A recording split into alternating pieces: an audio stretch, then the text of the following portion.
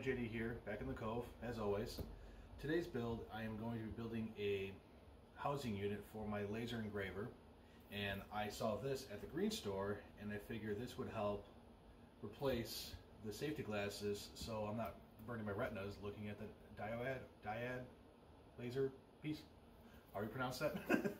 but um, yeah, so I figure I try this, you know, build the frame around accordingly, and uh, I thought that, okay, even though this is darker, what I might do is, everything always goes astray, that I will use the same kind of paint as this, obviously in green, and I would tone it down, or tone it back, to darken it, to where I could get a darker tone, just so I don't have that laser diode, you know, you know, causing harm. So I get to go to the store maybe later on after I get most of the item built. So uh, let's begin.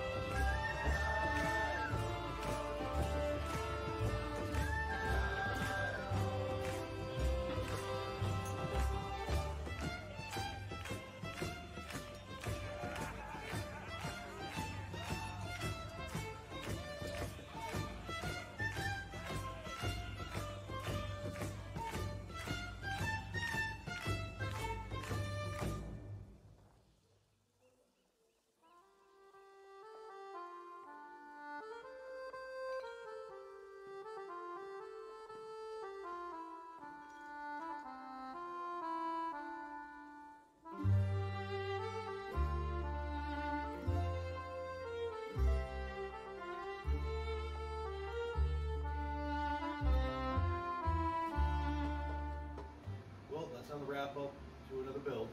Um, the fan you're hearing is actually the exhaust fan, so you know it's doing its job. Normally I would have the other exhaust fan helping out move any smoke that might accumulate in here. So it is doing its job. The CNC machine was moved from the original spot just for the fact that it needed to be closer to my work, work computer that I have there. So uh, now it's on to learning the CNC program just get more familiar with it to do crazy designs for all my future endeavors. The only thing I have to say is the plexiglass does work, but I still think I need to put some type of tint over it just for extra layer protection, which I will do momentarily. Um, other than that, I would love to show you what I'm doing, but it's more of a surprise because I'm still learning. So, uh, without further ado, I want to say thanks for watching, and um, on to the next build.